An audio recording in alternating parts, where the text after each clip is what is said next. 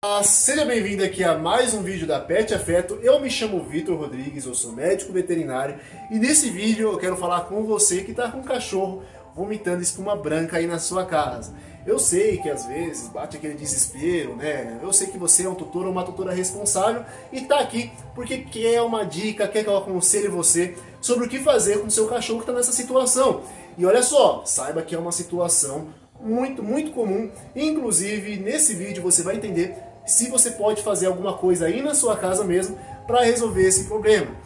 E é claro, a única coisa que eu peço para você é que você se inscreva no canal da Pet Afeto se você não for inscrito ou inscrito. Estamos batendo o marco de quase 10 mil inscritos.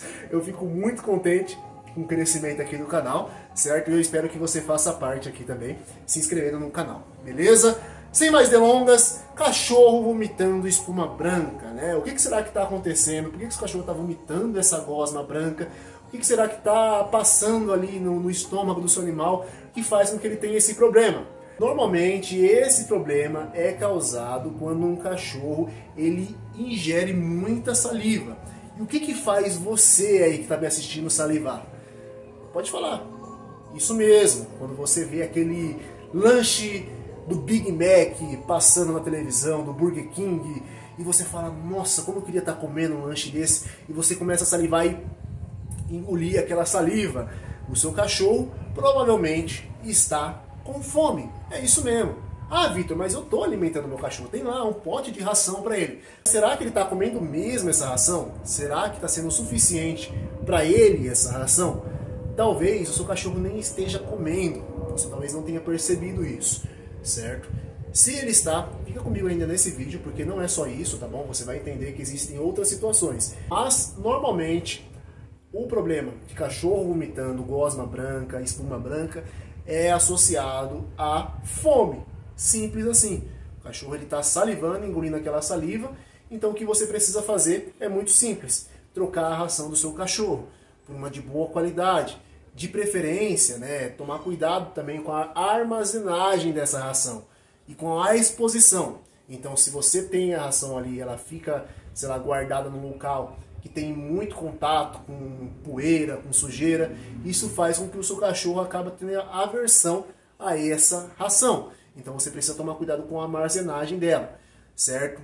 Não deixar sempre disponível, porque ali né, no ambiente acaba umedecendo, acaba ficando com cheiro ruim e seu cachorro não vai comer isso. Aí você está lá comendo o seu franguinho, o seu Big Mac, seu cachorro assistindo você, engolindo saliva ali, daqui a pouco ele bota tudo para fora em formato de espuma branca. Normalmente é isso que acontece, tá bom? Uma outra situação é o seu cachorro ter um problema na boca.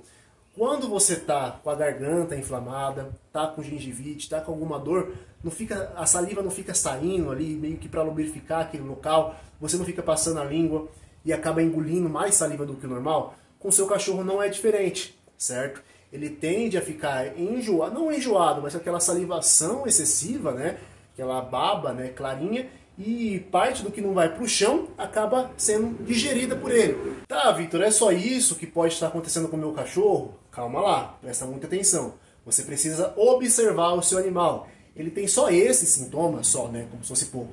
Mas ele tem apenas esse sintoma? Observa isso. Ele está só salivando, ele está só vomitando espuma branca, ou ele de repente está apático, não quer saber de muita brincadeira, mudou o comportamento dele. Se o cachorro é vacinado, olha só, hein? Muito cuidado. É preciso vacinar o animal contra a raiva, contra doenças infecto-contagiosas. Ele é vermifugado, se você mantém a saúde do seu cachorro em dia, é possível que o problema seja alimentar, sim. Se não, pode ser de repente uma intoxicação, se ele comeu um lixo, por exemplo, mexeu em algum lugar, alguma comida, alguma coisa que ele comeu que não caiu bem, pode acontecer também, embora seja menos comum, às vezes ele só vomita ali na hora mesmo todo aquele conteúdo, né?